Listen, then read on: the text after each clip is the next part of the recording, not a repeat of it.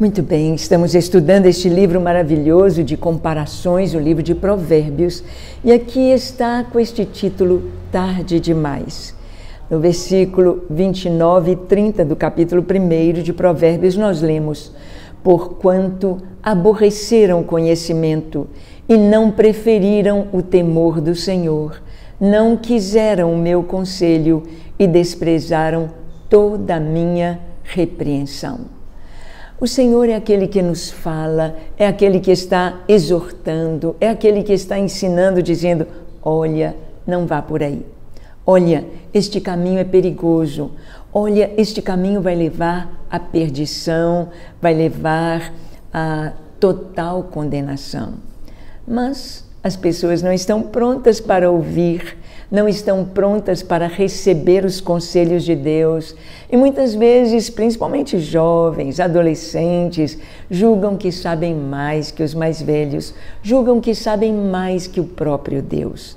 E então o que acontece?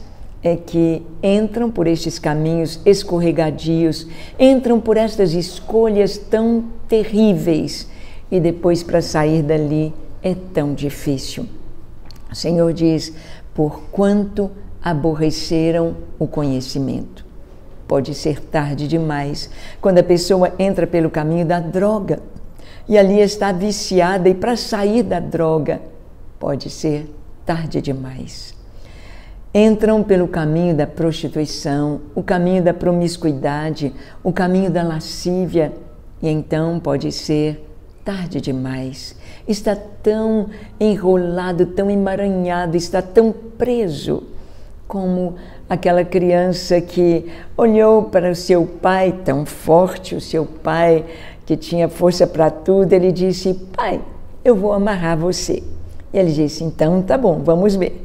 E ele pegou um carretel, linha, e enrolou no pai uma volta. E o pai disse: Vamos ver se eu consigo sair? E tum!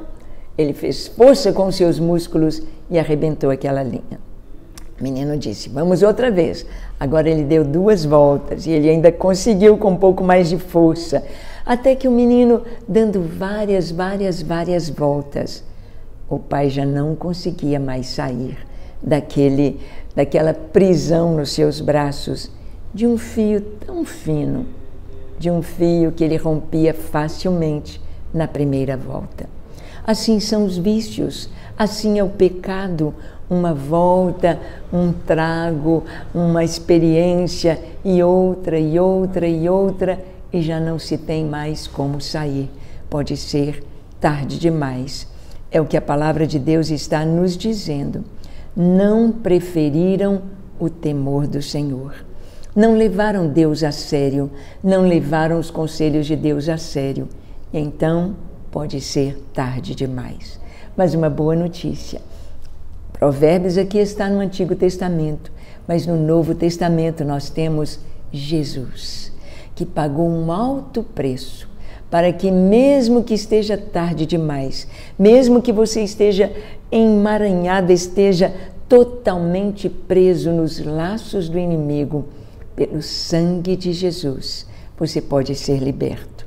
Pelo poder do sangue de Jesus, que o Espírito Santo alcance o seu coração e de tantos que estão presos às suas más escolhas, e que o sangue de Jesus os liberte para uma vida nova, uma vida abundante, uma vida de bênção, onde você vai apagar o passado, que foi tarde demais até onde você chegou e o Senhor vai trazer uma nova vida, uma nova chance, um novo nascimento.